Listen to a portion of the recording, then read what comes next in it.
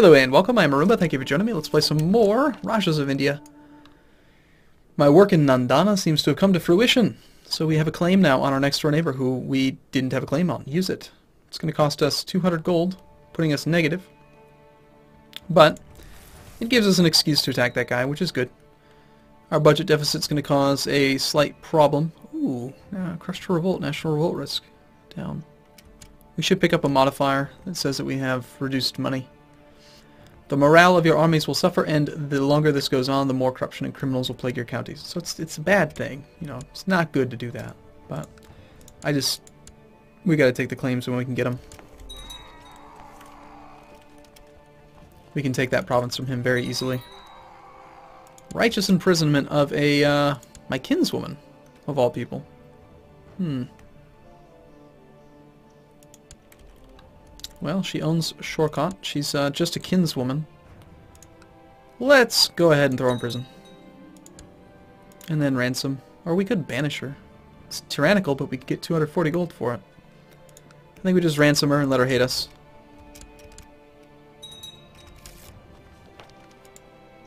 Oh, okay. I remember reading in the patch notes that there's a new opinion modifier for being imprisoned, and I thought that it was different, but it is. It's a, like on top of being like I was imprisoned by you, there's now a modifier for being currently imprisoned, which is interesting. So we knew we need to uh, to continue fabricating claims on this other guy just so we can get enough land that we can actually usurp his duchy, and then we'll stop fabricating claims and worry about just improving relations with people. Meanwhile, you, sir, need to get caught doing something that I don't, you know, that isn't good. Hey, everyone wants to kill you. Excellent. Sounds like a plan. Kill that man. What did you do to piss everyone off? Oh, crap. Plot is revealed. Does that mean that everyone... Yep, everyone got minus 10. I am dishonorable. Boo. A quick granddaughter. Question him? Yeah, of course. Question that man. We've succeeded. He was murdered. And no one found out about it. So he, he blabber, somebody blabbered about our plot. Everyone knows we're dishonorable, and then he dies of tragic circumstances, but no one can put two and two together. It's just not possible. That is pretty funny. It's murdered on the orders of me. Yeah, see, we know about it, but apparently no one else does. So now, um, that's good, because this guy is beneath this guy, which owns this thing, which owns that thing, and so this, this new one actually doesn't mind us that much. If it wasn't for the fact that we were a craven lunatic, and that he had claims on our titles, then we'd kind of be okay. We could kill this guy too. This guy actually kind of likes us. It'd be a little bit of a risk. This guy's 64 though, so he probably won't live much longer. And he's content, which makes him quite, quite good. Alright, we're just waiting until we have enough money, and then we're going to declare war on Shahi. Shahi Shadam. That darn peasant revolt. They're huge. Absolutely huge. I'm really looking forward to the point where we have enough war elephants so we can just kill everything with war elephants. Alright, so that is gone. Let's declare war, claim Nandana. Raise up all the things. Rally them to, say, here, except for those guys can stay stood down. Stood down? Standed. Standed? Stood. Stood.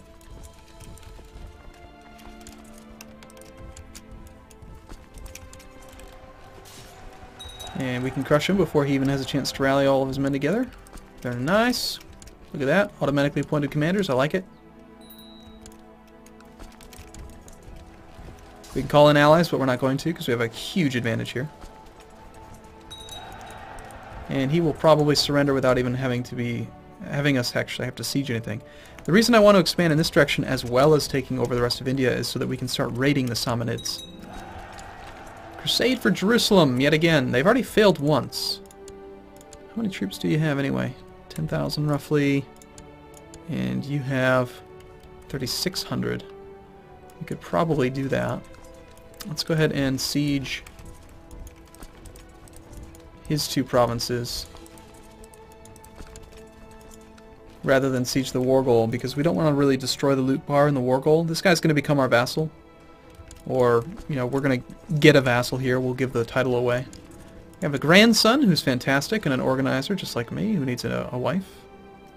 He is a Kshatriya. Very nice. Looks like we have to go a little ways down the list to actually find somebody that fits him. Ooh, this one I like. Great. My kinswoman seeks to fabricate a claim on the Raj of Lahore. Well, looks like you're going in prison again, kinswoman. And she's a kinslayer. Yeah, we can't abide by that. And she's raised her flag in rebellion. Oh gosh.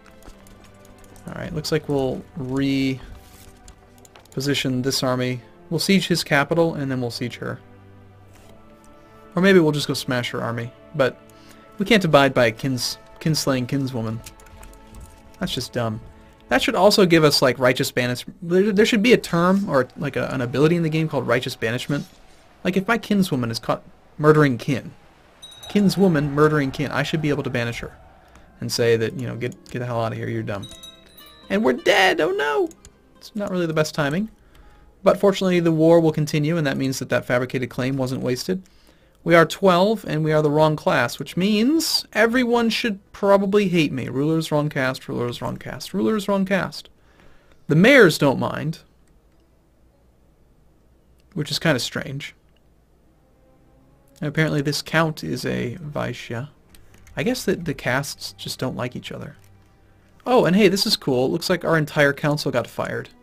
And let me guess, we probably have people who are upset with us for having fired them. Because, you know, that makes sense right? Like who was definitely...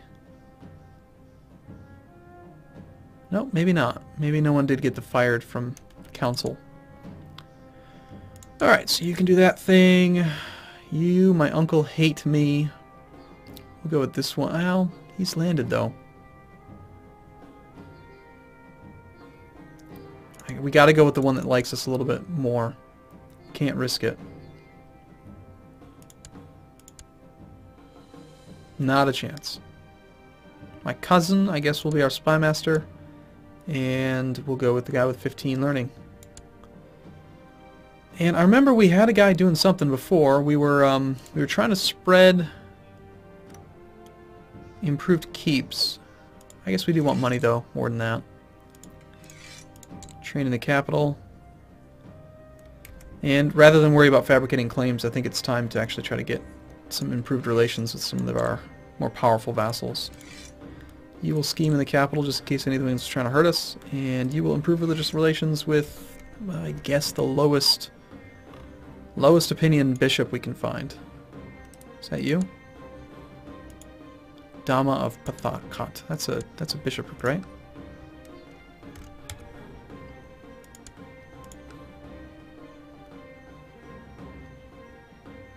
No, that's a baron. Okay. Okay, Pujari, is that a priest? Probably, considering he's a Brahmin.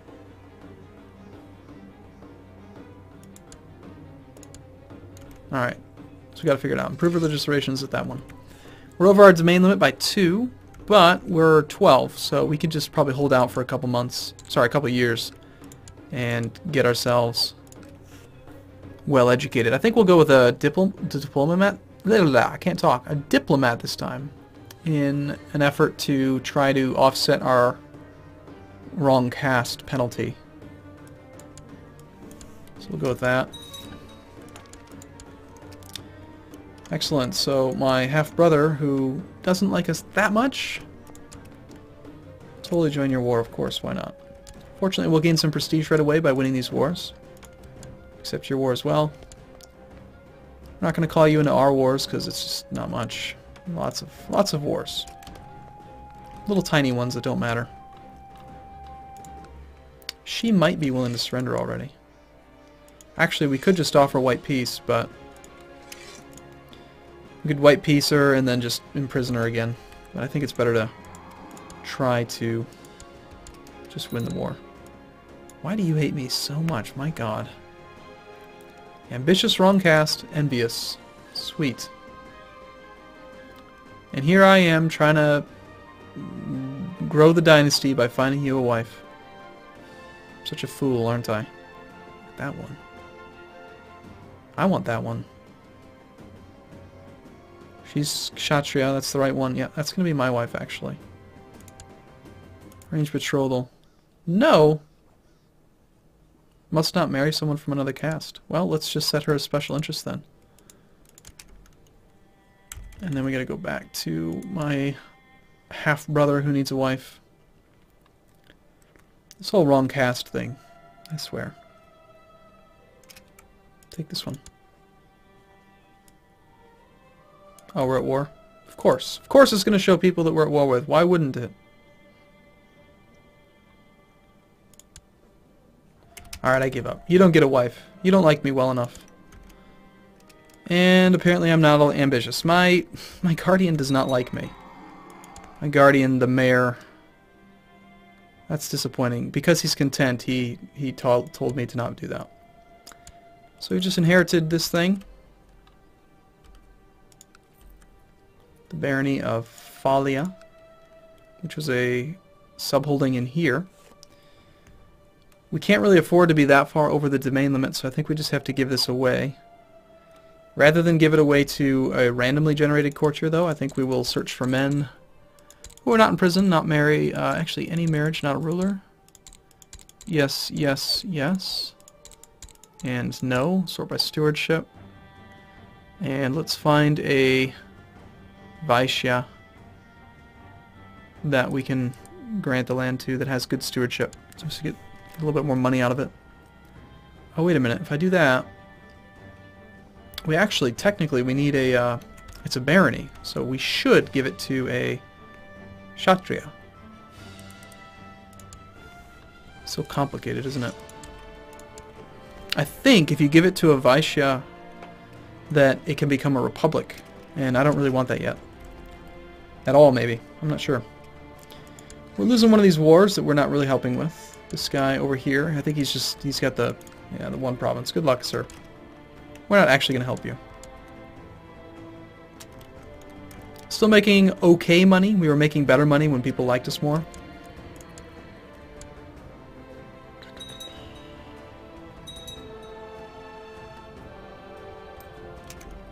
Thirteen. Training grounds built in Lahore. Diplomatically refused. Nope. I will give away land when I'm feeling like it, okay? Please don't let my kid turn into a terrible ruler. This, um, this whole primogenitor, ultimogenitor thing's kind of strange. Hey, looks like your mom died. That's sad. My kinswoman, she died of poor health at the age of 28. No wonder she was so ambitious. Now we have a, a one-year-old that's not even of our dynasty who controls it. Um, Sure, we accept, and we will ransom you for the money. She's going to continue to hate us, but it's not really our fault. We actually don't have an imprisoned penalty with her. I guess that's um, related to it being righteously imprisonment. Something like that.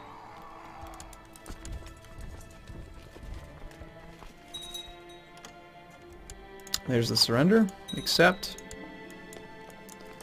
retreat back to our own territory, we can now create the Kingdom of Punjab.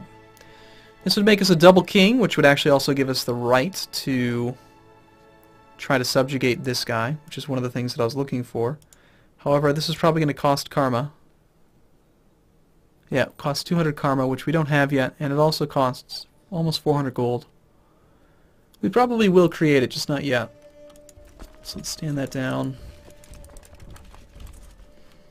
And we're definitely over the domain limit now, so this is in the wrong or the other duchy, so we'll just give this to another character. Let's uh, let's go ahead and land our own dynasty though, because you know there's no reason to play intelligently. we should just totally make it a big, big mess. So here's me. Let's give it to my uh, any brother that actually likes me. Negative 30. That's close enough. The ugly one. Here, sir. You can have the Thakana of Nandana. And apparently, oh god, that's so dumb. I give him land, and let me guess. Now we fired him. Yeah, fired from council. Pretender and claimant to the Juti kingdom. Now he hates me. Or is this a different guy? No, this is the guy that whose land I gave to. It's so weird that it fired my marshal. Why did it do that? Whatever. Even though he hates me, we're gonna put our lives in his hands and see what happens. We know about a couple plots. We have a count underneath one of our dukes that's plotting. Let's just righteously imprison him. They never did fix this. You just always always imprison counts beneath dukes. Now rather than ransom this one, I think we might...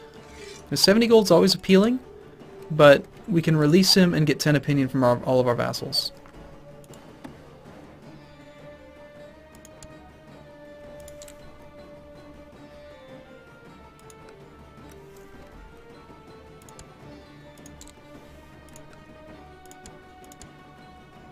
Hey, that guy's not willing to stop backing his plots, so we can throw him in prison too.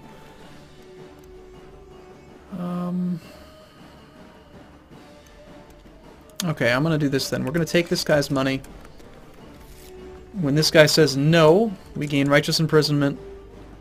Now we can imprison him. This is the one who has just a couple holdings. Um, we should probably send our marshal, but we won't. Hey, 38% of the chance. So 38% of the time it works every time. Now, if we release him, we can get 15 opinion with everybody, which kind of offsets half of our wrong caste problem. And then, of course, he's probably still going to cause problems, which will be good for us. We'll take the plus 15 from him. We could have gotten 145 gold from that guy, but... And apparently he's still backing that plot. So, interestingly, we can apparently ask him to stop backing it again. He'll probably say no again. And now we have righteous imprisonment again. We caught him again. And now we're going to ransom him again. And he's finally not supporting the plot. oh, that's crazy.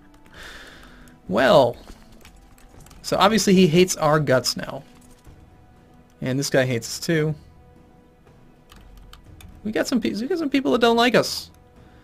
If uh all these guys think we're infidels, so be it. Is what it is.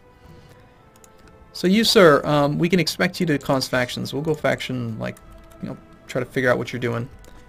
And our own personal domain is just garbage.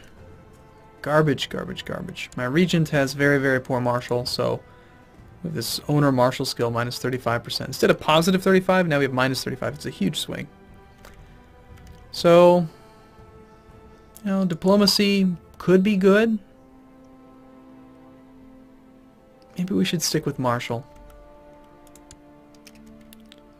Let's stick with Martial. It's just so powerful.